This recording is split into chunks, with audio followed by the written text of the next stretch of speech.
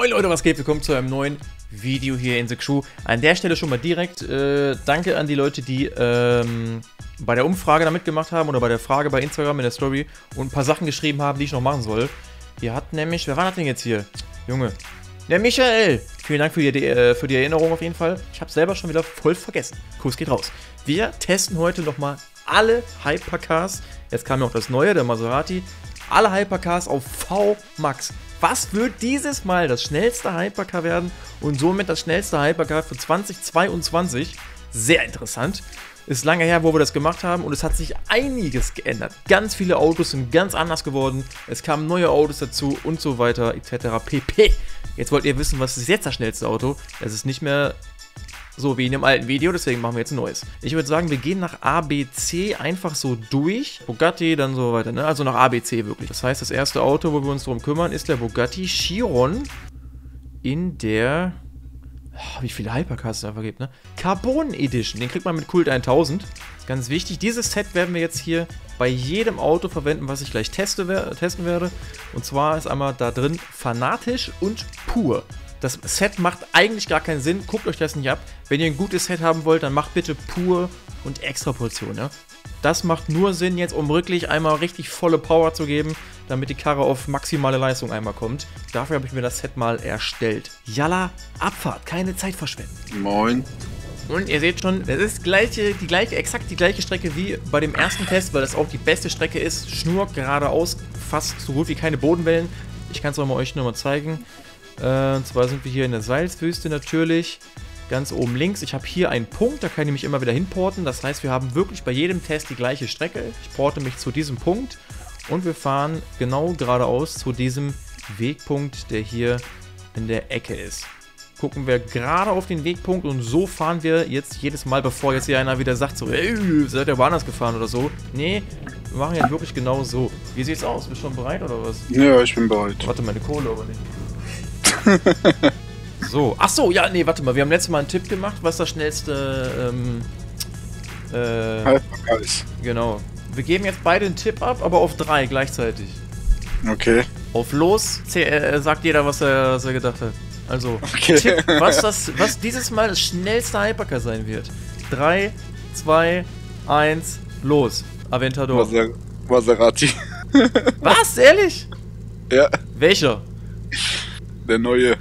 Okay. Al Alfalter, wie heißt die Scheiße? Keine Ahnung. Genau. Ja, okay, mal gucken. So, dann fahr mal los, ich fahre dir hinterher. Vorher aber nochmal ganz kurz Werbung in eigener Sache, Leute. Ihr wisst, ich war jetzt ungefähr einen Monat lang im Urlaub. Ähm, ich habe für euch so ein paar coole Aufnahmen gemacht, so wie das da ausgesehen hat, was ich so gemacht habe und so. Das sind so mehrere Videos. Aber ich habe euch eine ganz kurze Zusammenfassung gemacht. So, die geht so acht Minuten. Und mich würde es extrem freuen, auch wenn ich weiß, dass die meisten sich nicht für Vlogs interessieren, was okay ist. Aber mich würde es extrem freuen, wenn ihr euch wenigstens dieses eine Video anschauen würdet oder zumindest mal reinklicken würdet, ob euch das interessiert. Das werde ich mal hier oben verlinken. Ist wie gesagt so eine ganz kurze Zusammenfassung von dem kompletten Urlaub. Geht so acht Minuten oder so. Und das hat mich am meisten Arbeit gekostet. Ich glaube, so acht oder neun Stunden hang ich da dran. Also pro Minute eine Stunde. Ähm, ja, wie gesagt, auch wenn es euch nicht interessiert, klickt einfach mal rein, ob ihr Bock drauf hättet oder nicht. Wenn ja, dann schaut es zu Ende. Und wenn ihr Bock habt, auch die anderen Videos gerne. Wenn nicht, dann nicht. Aber wäre mega nice, wenn ihr wenigstens das einmal anklicken würdet und einmal reinschnuppern, wie euch das so gefällt. So Leute, jetzt hier weiter mit dem Video.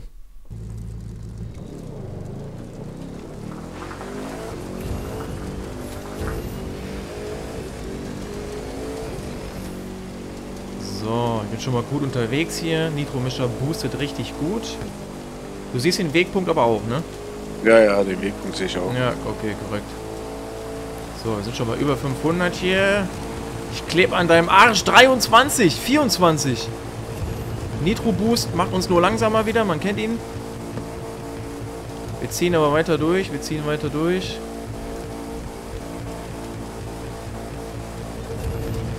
24. Das ist sehr gut. Das ist schon sehr gut. Okay, nächste Karre. So, nächstes Fahrzeug ist der Bugatti Chiron Interception Unit. Yalla.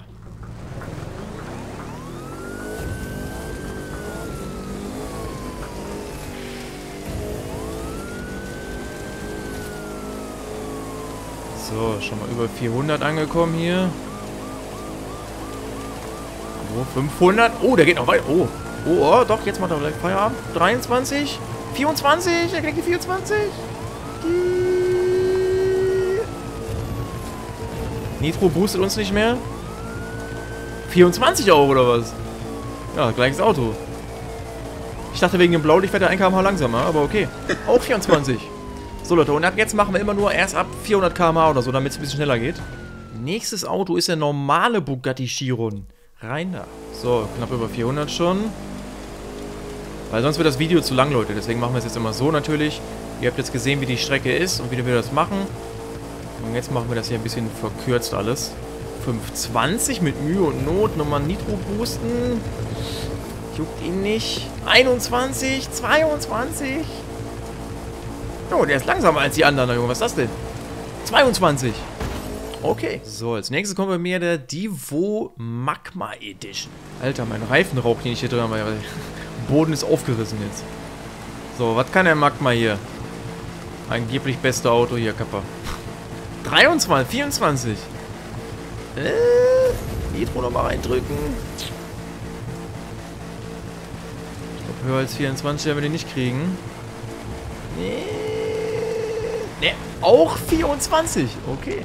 Dann kommt jetzt bei mir der Divo Emerald Storm. Eins meiner Lieblingsfahrzeuge. Optisch auf jeden Fall auch eine 1 Plus. So, 450. Oh, der geht auch wieder schnell nach oben hier. 500. Oh, oh, oh weiter, weiter. Alter, die machen bei, bei 520 hören die auf einmal auf, ey. 24. Auch 24 oder was? Was ist da los? Das kann doch nicht wahr sein. Alle fahren hier 24. okay. Und euer Lieblingsfahrzeug, Leute, die meisten feiern den ja übelst ab. Äh, mittlerweile mit dieser Folie finde ich ihn auch ziemlich geil, die wir da gemacht haben. Es gibt ja viele in der Variation, so ein bisschen anders immer. Sieht geil aus. Man kann den nach dem letzten Update, so mal so als Info für euch, man kann diesen Wagen wieder fahren. Der war ja über ein Jahr lang nicht fahrbar, weil er komplett weggerutscht ist wie so ein Dulli. Macht er jetzt nicht mehr. Könnt ihr wieder fahren, ja? Und jetzt gucken wir, wie schnell der ist. 500. 20, 23, 24, 25. Ja, 26. Oh, er, ja, er ist bis jetzt der schnellste Auto. 27. Eine 7. Da ist die 7. Wir haben ganz kurz die 7 gesehen. 27. Aha. So, Leute, jetzt kommt der LAN. Wo ist die Tür nur? So, Leute, von dem Wagen hoffe ich mir auf jeden Fall ein bisschen mehr. Weil, sehr geiles Fahrzeug. Ihr wisst ja auch, wie der Wagen fährt, ne? Der kann auf jeden Fall was.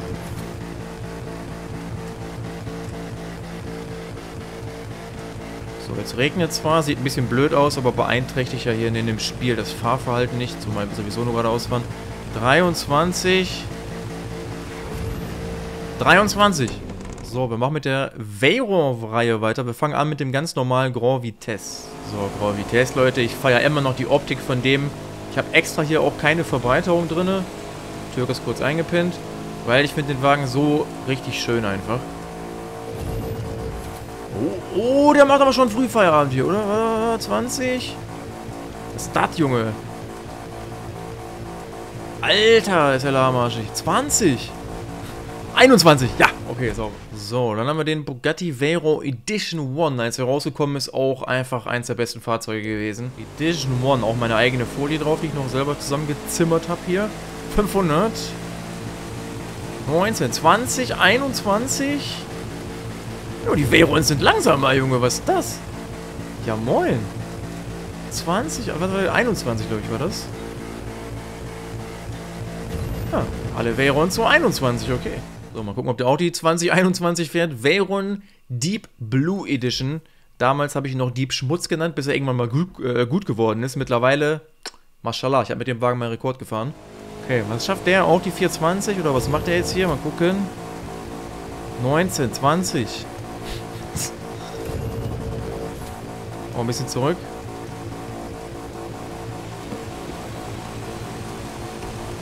...21 rausgequetscht. Ah, 22. Äh, 22. Bester Veyron. So, bevor wir gleich mein Lieblings, ein aktuelles Lieblingsauto machen, machen wir nochmal den Oldschooler hier. EB110 Polizei. Oh. Oh! Ja, okay, der ist oldschool, ja, da kann man nicht so viel erwarten. 400, äh, 504, 505?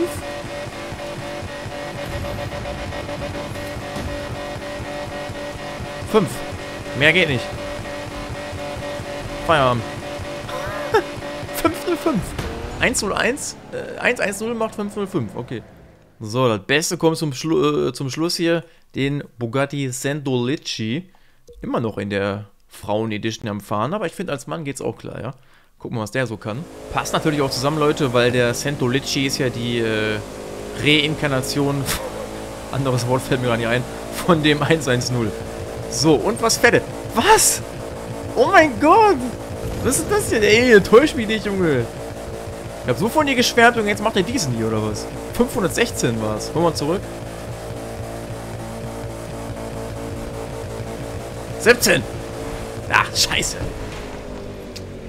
Schade, mehr erhofft. So, Leute, Bugatti sind wir durch. Jetzt kommt hier Chevrolet. Wir fahren natürlich beide. Wir fangen mit dem hier an. Junge, er schafft nicht mal die 500. Was ist denn das jetzt? 98. Da kommt gar nichts mehr. Nur langsamer.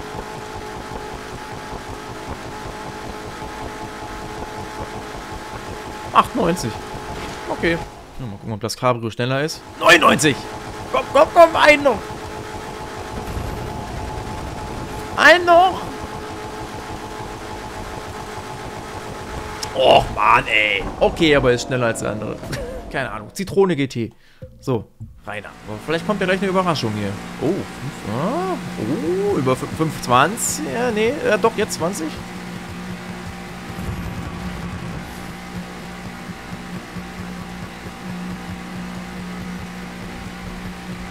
Fünfundzwanzig. Okay, 25. So auf jeden Fall sehr gut. Jetzt sind wir bei Creators. Da gibt es nur... Oh, nee. Nee. Was kommt jetzt? Junge, wenn ich jetzt einmal bei dir hinten reinfahre, dann bin ich tot. Jawohl. Jawohl. nee, Junge. Komm, der, wir scheißen einfach auf den, fällt eh keinem auf. Nein, Mann, der muss auch mit rein. oh, nee. Ich glaube aber nicht, dass der über 500 kommt. Ah, 95 war gerade kurz.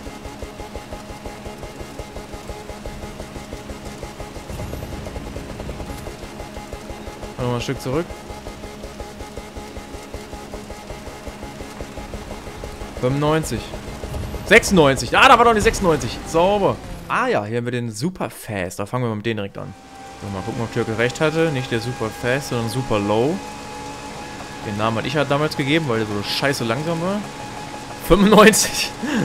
95. 96. Okay, 96. Aber ich war direkt hinter dir. Mehr geht nicht. 96.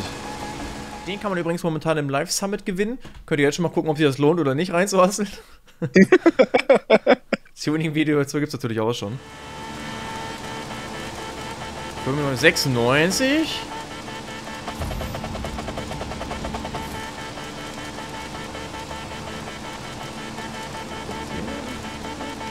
Er hält auf jeden Fall stabil, die 96. Also der ist schon ein bisschen, ja, kmh schneller, würde ich fast sagen.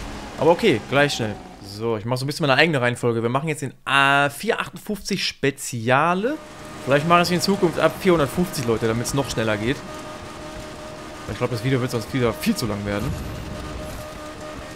95, 96, 97, 98. Darf ich ganz kurz... Na, 99. Er schafft die 500 nicht, Junge. Ah. Okay, 99. 88. Pista Fista. Reiner. Immer noch eins der schönsten Ferraris hier auf jeden Fall. Auch so wie ich den getuned habe, feiere ich den übelst. 97.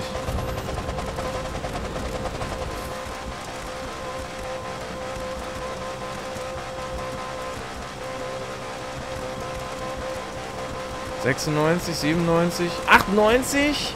Tick langsamer. So, machen wir weiter mit dem Ferrari Enzo Ferrari. Was kann er, der Enzo? 95. Keine 500. 96, da war ganz kurz die 6 zu sehen.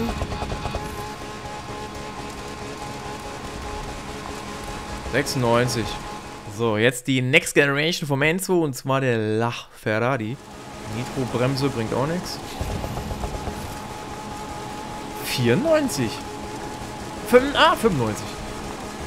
95. Fangen an mit dem normalen.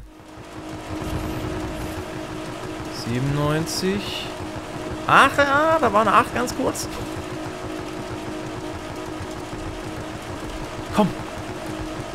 98, ja, das zählt, das zählt. 98, ja, direkt in die Interception Unit Edition rein. Den gab es übrigens nur im Live Summit, Leute. Ist auch wieder sehr schade. Generell, dass man die Polizeiautos gar nicht mehr kriegen kann. Ist das ein Safety Car oder was ist da für eine Pimmelleuchte auf deinem Dach? Ja, Safety Car. 54. Polizeiwagen verfolgt ein Safety Car. Guck mal, dieser Strahl, Alter. Wir hatten gerade 95, aber jetzt, ja, vielleicht 96, 97. Feierabend. 97. Mehr kann er nicht. Ah ja, das war der, der sich anhört wie ein GTR, genau. Oh, oh, über 500 wieder. 520, 21. Nitro macht das wieder langsamer. 21. War da gerade eine 2? Ne, da war glaube ich die 0, ne? 21. Doch, doch, da war eine 2. 22, äh, 12. Ne, war das 22? Ne, 12. 12. 12. Ach, egal, wir haben vor dem. Wir fangen jetzt einfach mit dem an hier so. Ich habe vorhin mal kurz überlegt, wie lange will der Wagen eigentlich noch im ersten Gang fahren, bis mir aufgefallen ist, der hat ja nur einen Gang. Der Gucci Regera. Ja, original, nicht gefälscht. Junge, der. Ja, doch, jetzt 500. 500! Exakt 500. Mehr drückt er nicht raus. 500 nur. Ich dachte, der wäre schneller, Junge. Alles klar, 500. Regera. So, jetzt gehen wir mal zum Agera R. Komplett in Gold die Bude. 95, 96, 97, 98.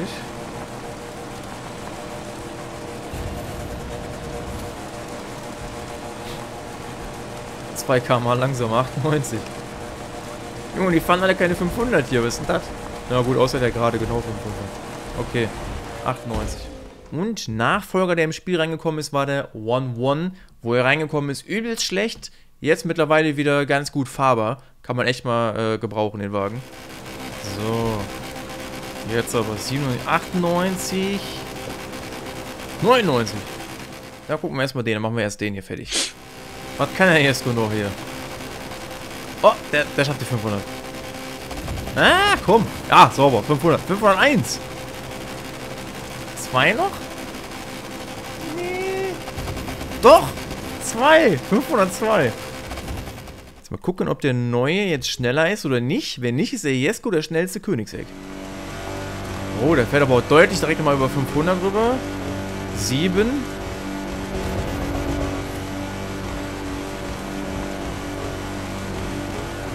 Tänzelt da zwischen 6 und 7. Und teilweise, glaube ich, sogar noch 8. Oder ist sogar 8? Kann man ja erkennen.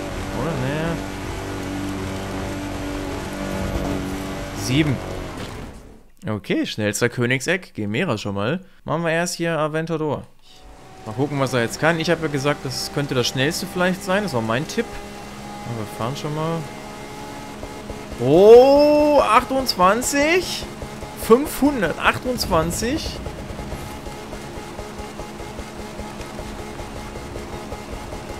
Mehr kriegt er nicht hin. 28. Bis jetzt auf jeden Fall das schnellste schon mal. Das ist schon mal gut. Dann gehen wir mal in den Veneno. Der geht auch locker über die 500 drüber. 21.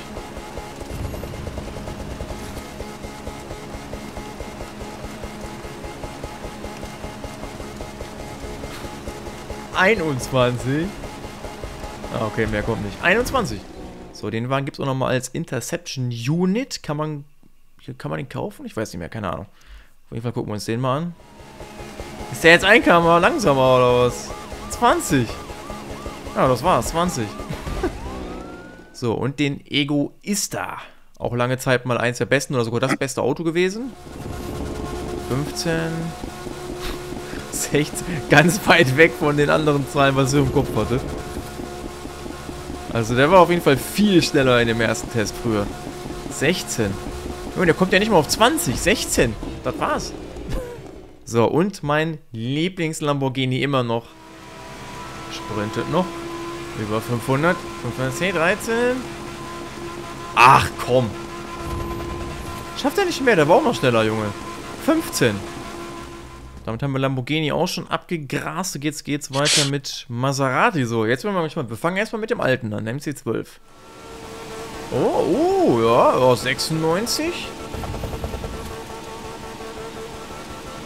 Da waren schon langsamere Autos dabei. 96, 97.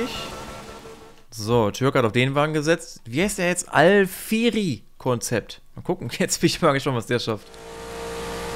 90, 500, 504, 5.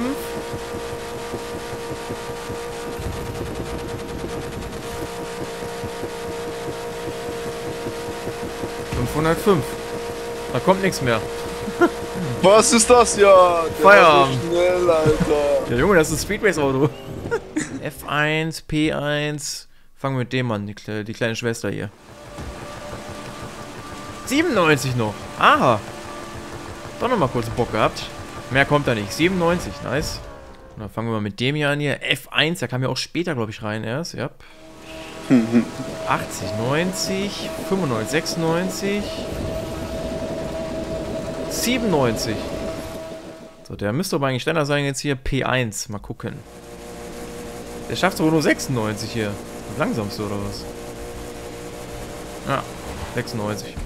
Nach McLaren kommt Nissan, da haben wir nur einen. 96, ja, tut sich nichts mehr. Okay. Macht nichts, der Wagen ist eh Müll. Was haben wir noch hier im Angebot? Pagani.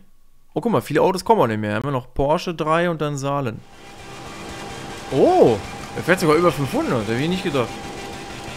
503. Ich dachte, der fährt, fährt safe unter, ey. Ja, kommt aber nicht mehr. 503. Im Zonder F. Dann gucken wir jetzt mal, was der Huayra so drauf hat. Schönes Auto, by the way. 6. Der fährt jetzt nicht unter 500, Junge. Das geht nicht. 98. Komm, zieh noch. Na, 99. Der schafft die 500 nicht. Ne, 499. Nächste. Porsche. So, hier will ich noch kurz sagen, es gibt hier eigentlich vier. Nämlich gibt es den Carrera GT noch als Green Flash Edition. Den habe ich aber nicht. Ich habe auch eine Umfrage gemacht. Irgendwie hat niemand dieses Auto, weil der Wagen, äh, der kam genau raus, wo Need for Speed Heat gerade voll im Hype gewesen ist. Da hat niemand zur Crew gezockt. Also fast niemand. Ich auch nicht.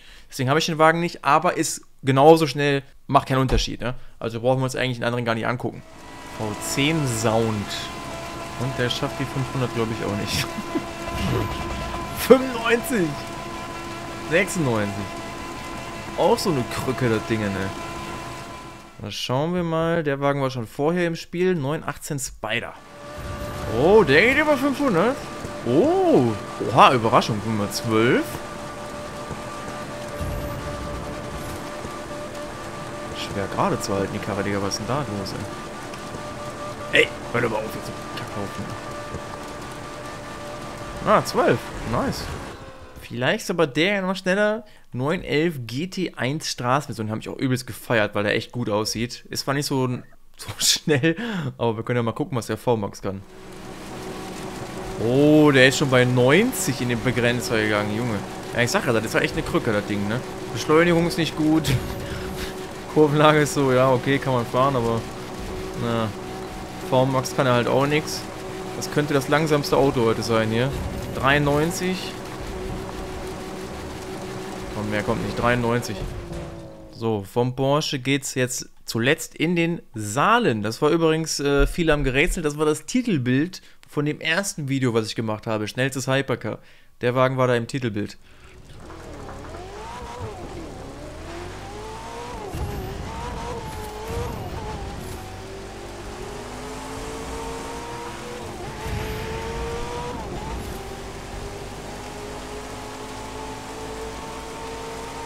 So, 450. Ja, der Motor ist so krank, er sieht so heftig aus. Sogar der schneller. 95. Junge, das war gerade wirklich das langsamste Auto, glaube ich. 95.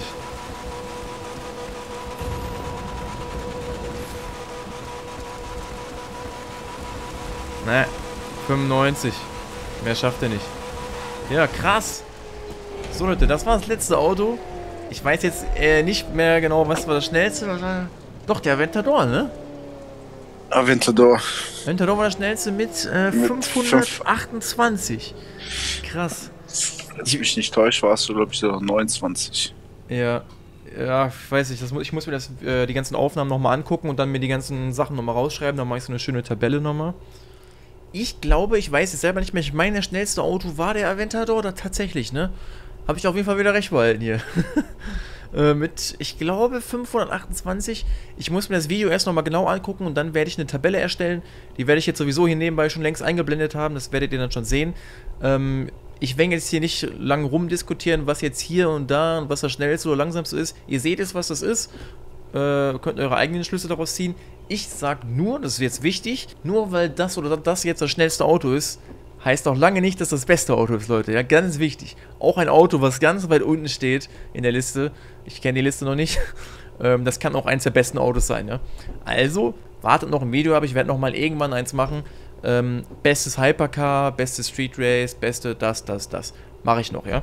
So, Leute, wir sehen uns im nächsten Video. Ich hoffe, das war nicht zu lang, das Video. Und ansonsten wünsche ich euch was. Macht's gut, haut rein, euer Zocker. Ciao, ciao. Yeah.